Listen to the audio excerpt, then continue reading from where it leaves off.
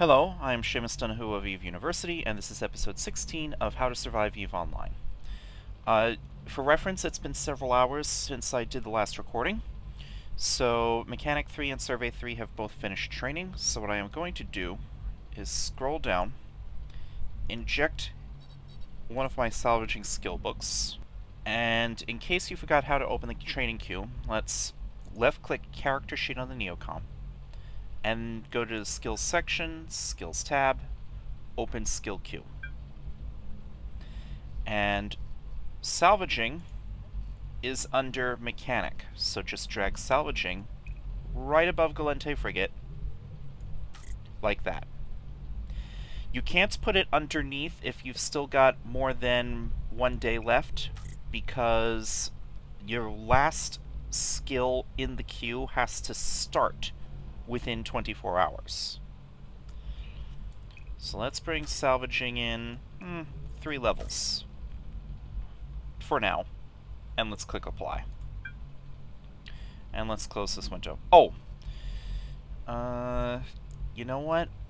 A better skill for you to probably work on is probably engineering, since that's going to give you more power grid to work with. Let's click apply and let's close this window. Alright, go to Neocom Journal, the Agents tab, Mission subtab, Making Mountains of Molehills 6 of 10, and Start Conversation. The agent wants us to manufacture 20 units of Cap Booster 25, and is going to provide us with a blueprint, and if you left-click the blueprint, you will see uh, each run of this blueprint makes 10 Cap Booster 25s. So we need to do a couple of runs of this. Under the bill of materials, you will notice that it needs uh, some tritanium. We've got more than enough. We're going to need double the amount listed for you. So we need 422. We've got that.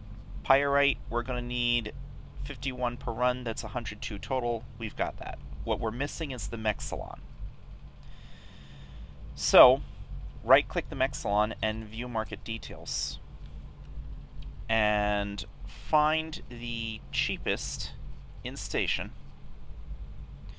Here it's 37 ISK. If I wanted to get some cheaper stuff, I could go a couple of jumps out to Vey.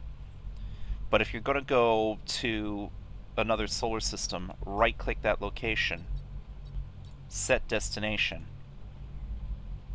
go to any of the objects in this link and add waypoint, and you could go shopping. But I'm not going to bother with that. So, I'm going to remove this waypoint. So, right-click the cheapest in station. I'm going to buy 32 of this and click Buy. It's only a thousand ISK or so. And I'll close the market. Let's accept the mission. And if we scroll down to the bottom of the items, uh, bottom of the items hanger, right-click the blueprint, go to manufacturing, pick an installation,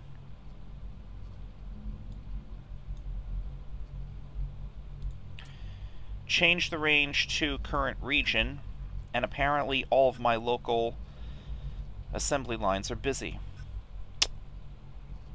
Right. I'm going to take this over to Lucé for manufacturing. Great.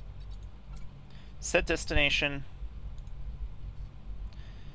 Close that window, cancel that. Alright, since we're going to have to move, uh, let me get started on the sixth step of the business chain as well. I'm going to take care of two things at once here. Loic Mencier wants one unit of tracking computer. He doesn't care how we get it, but the easiest way is to get it off the market. Right-click, view market details, find the cheapest in station, right click buy this, buy one, close the market, accept Loic mission. The game will talk to you about, will give you text to read about the market, and will also give you a couple of extra skill books, one of which you can inject right now tra and train that to level 1. Yes, which skill training. Alright, we bought the tracking computer already, so just complete his mission. So now, we just go over to the Lucé solar system. Let's load the cap booster, the Mexallon. Uh, we don't need all of the tritanium, just some of it. We don't need all the pyrite, just some of it. Let me double check the amounts I need. Yeah, that looks right. I'm bringing a little extra just in case. Right-click Clellinon, add waypoint. Let's close and let's undock. So as I'm filling this, all of the assembly lines in my station are busy. So I have to, I'm going to have to go one station over to do this. So, reverse the sort on distance, left click the Stargate, warp to zero, you know how to do that. I have skipped ahead to the point in the video where I just jumped into the Lucé solar system. I forgot which station has the manufacturing slots. Only one of these stations do, so I'm going to go to Science and Industry again. Uh, the Installations tab. Left-click Lucé. Ah, here we go. Lucé 6 Moon 1. I'm going to right-click I'm gonna right-click that. Oh, you must be kidding. Um, I'm gonna put my mouse over the line, then move it over so the tooltip doesn't move. Right-click and dock. Warp drive.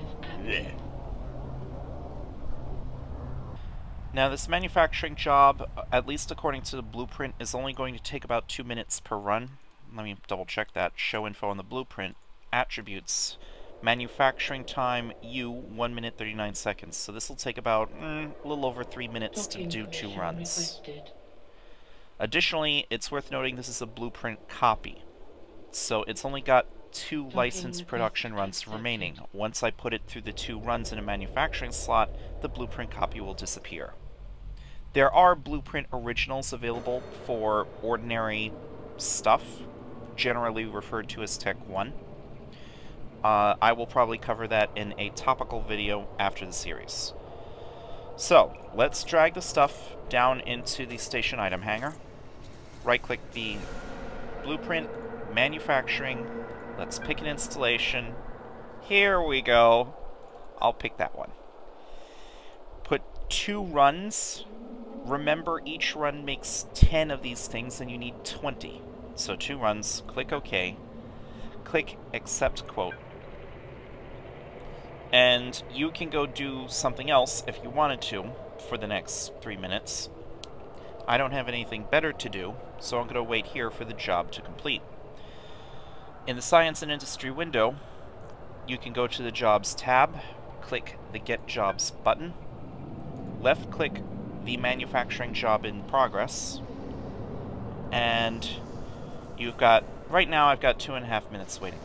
I will skip ahead to the video in the video to when this is done. I've skipped ahead to the point in the video where the manufacturing job has completed. So I am going to left click the job in question, left click deliver, and that will drop the cap boosters into the item's hanger. Now, in order to complete this mission, I need to give these to the agent in Clellinon. So, let's load everything. Let's left click once in the item hanger, hit Control A to select all, click and drag, and let's head back.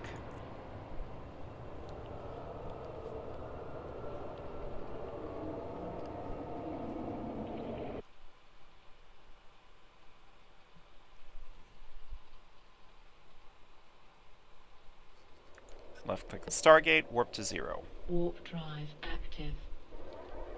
And you know how to jump through a Stargate. completed.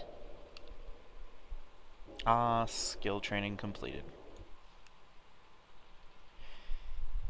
Enjoy listening to those words now because uh, as you uh, get several months into the game, you're going to start training multi-day skills. I've skipped ahead in the video to where I've just docked up back in the station in Clellinon. Uh, let's move our minerals back down and also drop off the cap boosters. Let's talk to Houvrenier, start conversation. Everything is green check marks, so go ahead and complete the mission. In the next episode, we will handle the seventh step of the business chain, because Industry 7 and Business 8 are both courier missions. In the meantime, thank you for watching.